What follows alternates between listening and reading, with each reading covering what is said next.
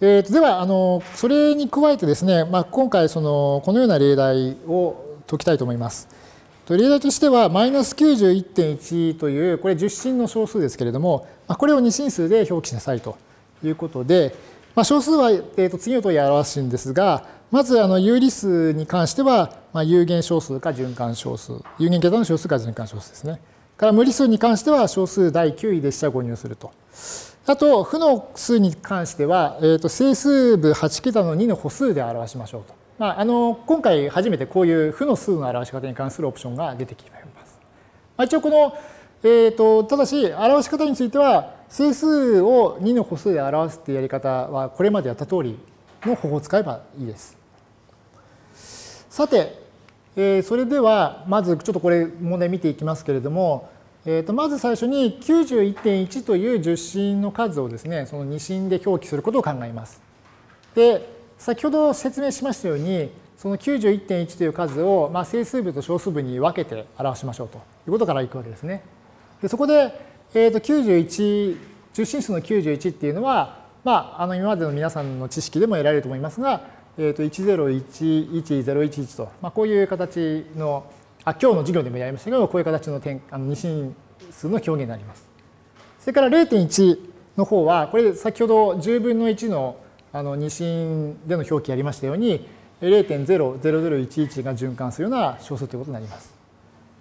で、まずこれを使って91.1、10進数の91.1を二進数で表すと、えー、これが、えーと、0101-1011.0011の循環節ということになります。で、ここで一つポイントは、なぜここを頭にあの0、普通はいらない0を持ってきたかってことなんですが、えここ、最終的にはこれ、あの負の数なんですね。これマイナス91.1を表したいので、これあの最初から一応2の歩数表記で、まあ、正の数、負の数を表していることにします。で、その2の歩数表記は、えー、整数部に8桁使うということにしてますので、一応それを間違わないように、えーと、今のところ0なんです。ここ8桁目は0なんですけども、ここにも0をつけて表しておきます。で、で今度はそのじゃあこの91.1からですねこのマイナス91.1を2の歩数を用いた二進数で表しますが、えー、とこれはあの2の歩数表記の時でやりましたように、えーとまあ、各桁のまず0と1を反転させるということですね。そうしますと、この場合は、え各桁の2の、えー、と0と1を全部反転すると、10100100.1の1100の循環節。これが、えー、と実は今回表したいそのマイナス91.1のあの二進表記ということになります。で、えー、とここであの一つ気づいた人はいるかもしれませんが、あの以前の授業で2の歩数表記で負の数を表したときには1を加えたじゃないですかと。今回はしないんですかという疑問を持った人は多分いると思います。ちゃんと勉強している人ならば。実は今回は1を加えることはしません。そこを注意しておきます。えっ、ー、と、一応循環小数を扱うときなんですけれども、えっ、ー、と、まあ、循環小数の時ををその負の数を求める時にはその全桁をその0と1を反転させるだけで末尾の桁に1を加える必要はありません。その理由を今から説明します。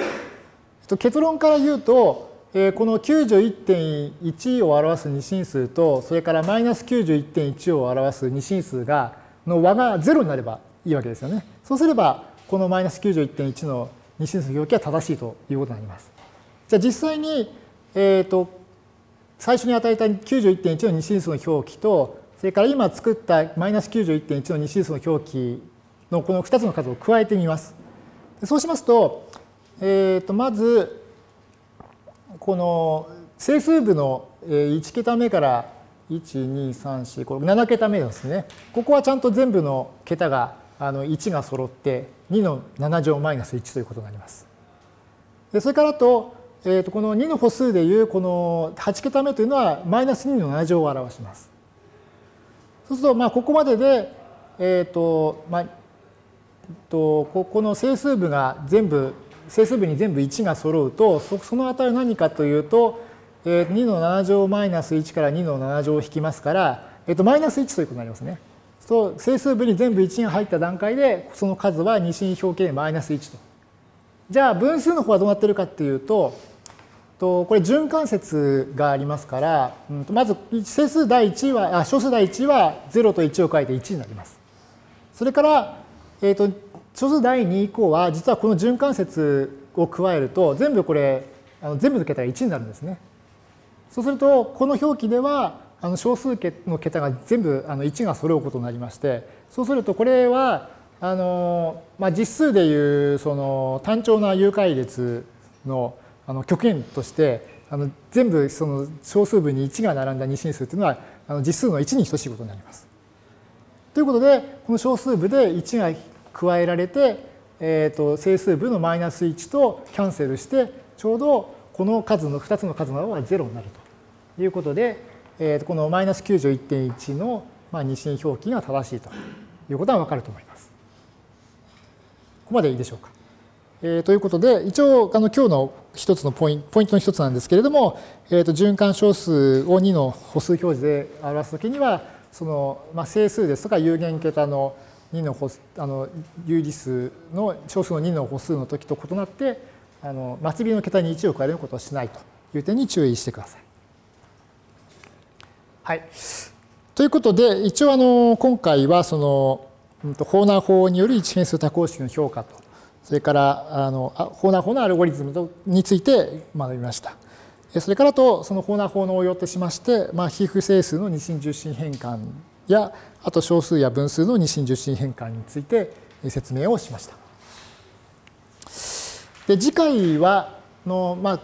この続きでですねその多項式や多倍長数のあの整数の乗算とそれからと,、えー、と多項式の重付き序算について、えー、と学びますのでまあ、あの必要な人は予習をしてきてください。